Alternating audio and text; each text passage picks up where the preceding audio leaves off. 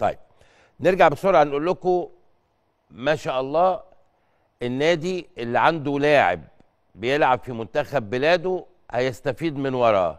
قلنا في دور المجموعات اللي هي أول حاجة بسم الله الرحمن الرحيم كده يعني هياخد النادي بتاعه 180 ألف دولار يعني كام تقريبا؟ 4 مليون و300 ألف.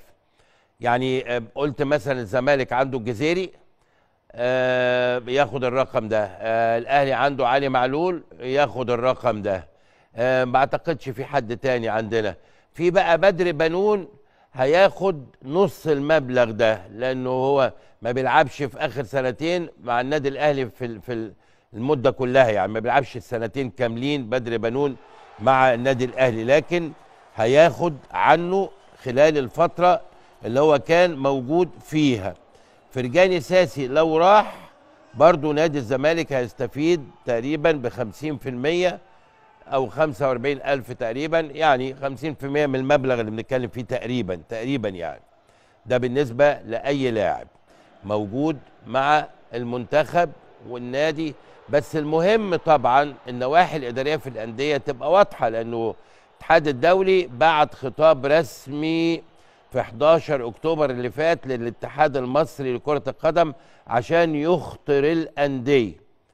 ان هي تبل أهو جواب قدامك اهو آخر ميعاد 31 أكتوبر اللي فات. إن أنت تقول مين عندك بيلعب في منتخب بلاده. يا رب يعني ما يكونش الجواب ده ما اتبعتش يا رب.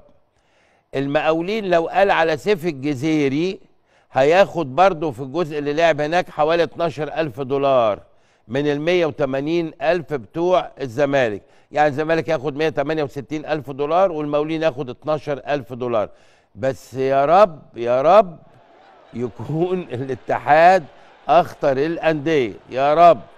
وزي ما قلنا كان آخر ميعاد 31 أكتوبر اللي فات.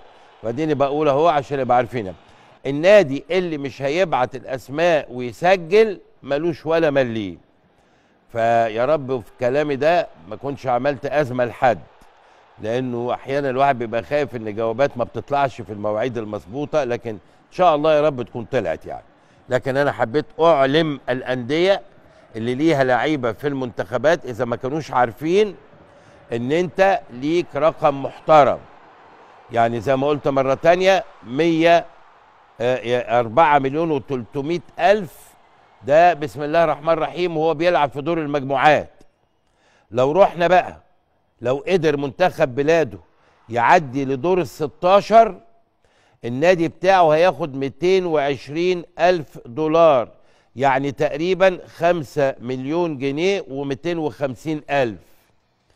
إذا النادي بتاعه وصل لل quarter finals ربع النهائي هياخد 6 مليون النادي 6 مليون و700 ألف. إذا وصل لل semi final هياخد 320 ألف دولار يعني 7 مليون و700 ألف جنيه. لو لعب final وطبعا ده صعب خلينا نكون واقعيين يعني ياخد 9 مليون جنيه. دي التفريدة لأنه طبعا الاتحاد الدولي آه، آه، اعتمدوا 209 مليون دولار. طبعا المنتخبات الكبيرة إسبانيا ألمانيا البرازيل الأرجنتين ال- اللي هي يعني دول اللي هياخدوا فلوس بجد. يعني بتكلم طبعا على الأندية. يعني إذا المنتخبات بتاعتهم عدت للمراحل دي وأكيد هتعدي هياخدوا أرقام محترمة.